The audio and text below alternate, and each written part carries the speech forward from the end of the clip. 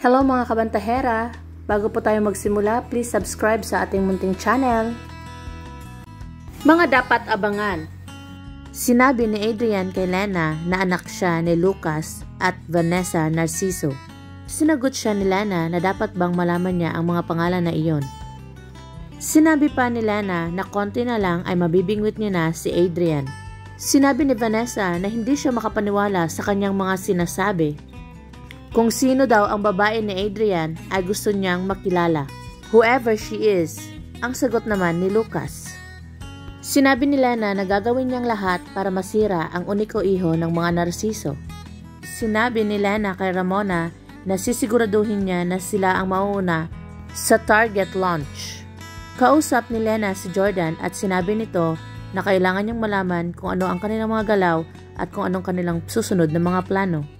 Dahil isa lang naman daw ang gusto niyang gawin. Babawian niya ang mga narsiso kung paano siya nito itinumba.